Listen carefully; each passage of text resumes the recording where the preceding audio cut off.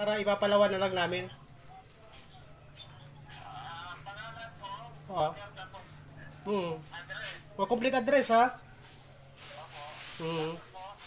Pangalan mo, pangalan, complete name. Oo. Ako, set, il- ilista namin.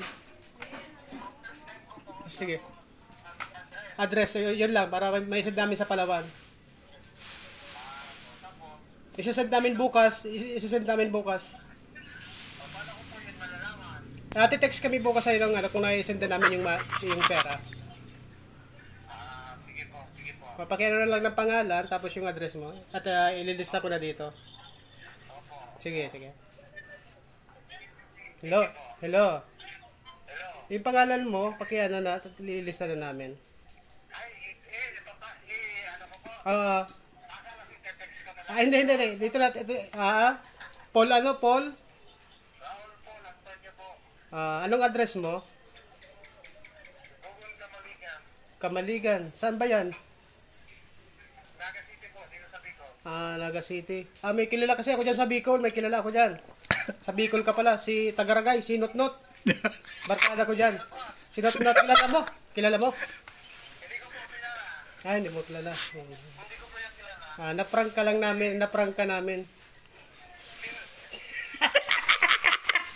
Sinot-notin eh, tapos Sir Mike.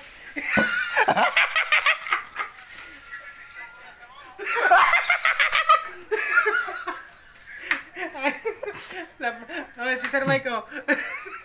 Hello, sir. May 10,000 ka.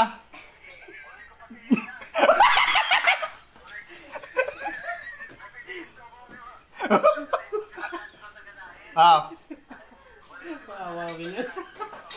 oh, nakaw rin bago sa si ano, wawawin. Ah. Nakainom ka pa garo, nakainom ka di man.